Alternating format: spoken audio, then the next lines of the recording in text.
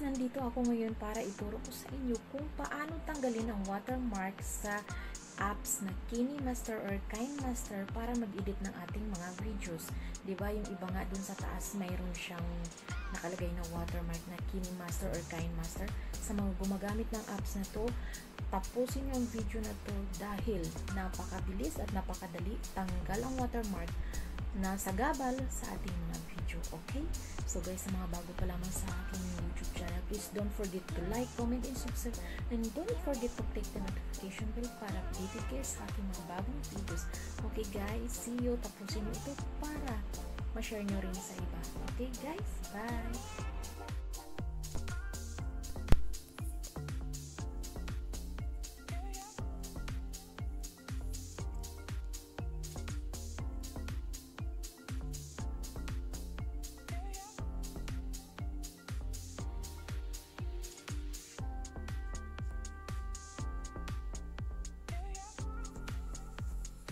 Ito po kung paano natin tanggalin ang watermark sa ating Kini Master or Kind Master.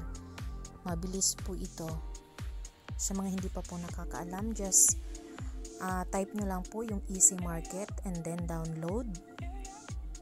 And then wait po tayo.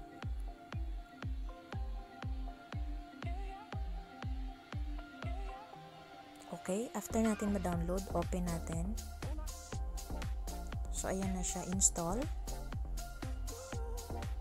So, wait ulit tayo.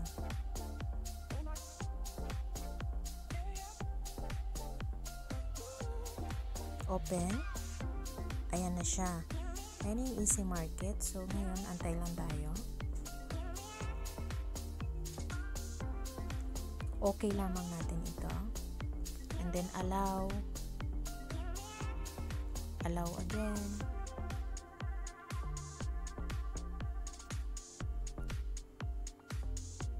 And then, nandito na tayo. So, ang gagawin natin ngayon is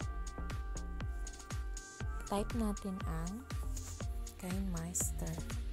So, ayan na siya. Ayan. So, download natin siya. Free download.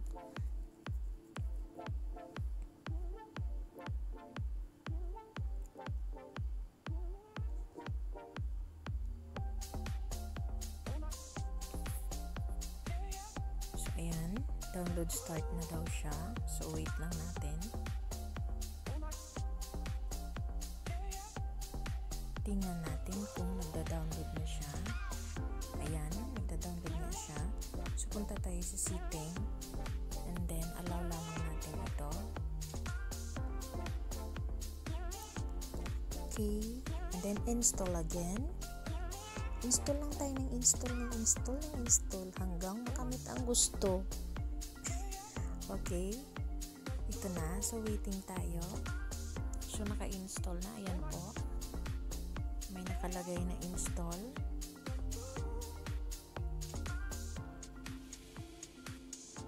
Okay.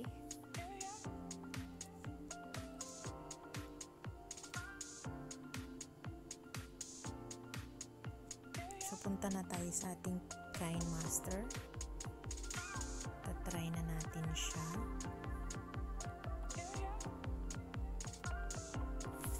siya.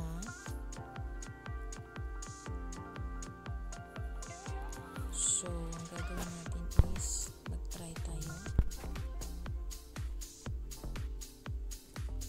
Any, kahit ano muna, dahil subok lamang ito. So, punta tayo sa background. Lagay tayo muna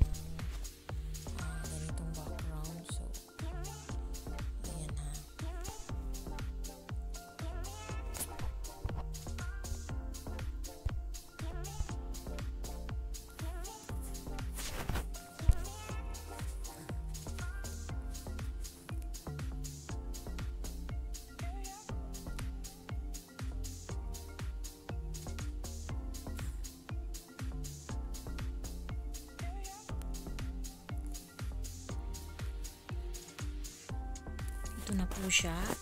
Dito nyo po makikita kung meron pa rin siyang watermark. Okay, just try lang tayo. Ito-try lamang tayo ngayon kung andyan pa rin ba ang watermark ng Kini Master or Kind Master. Sa mga hindi pa po nakakaalam dyan kung paano ito po, sundan nyo lang po ako. Napakadali lamang po nito. Okay? So ngayon dito na. So i-check natin to. Then try natin. Ayan, chan charan. Tingnan nyo po, wala na siyang watermark. As sa nakikita ninyo, di ba nandito yung nakapwesto? Wala na siyang watermark. So, maraming maraming salamat sa inyong pagsubaybay muli sa aking ah, bagong YouTube, ah, bagong isa pang tutorial na pinamagatang um, paano tanggalin ang watermark sa ating mga videos gamit ang KineMaster or KineMaster. So, ito na siya ang sagot guys. Ito na. Okay? Ah, sana mag-comment kayo ng mga gusto nyo pang ipagawang tutorial para matulungan ko rin kayo at ma-share ko sa inyo yung aking nalalaman. Uh, maganda kasi yung nagsisharing tayo. So, okay guys, uh, sa mga bago pa lamang sa aking YouTube channel, please don't forget to like, comment, and subscribe. And don't forget to click the notification bell para updated kayo sa aking mga bagong videos. Okay guys, ayan na po. Napakaganda pong tutorial ngayon at sana may natutunan na naman kayo.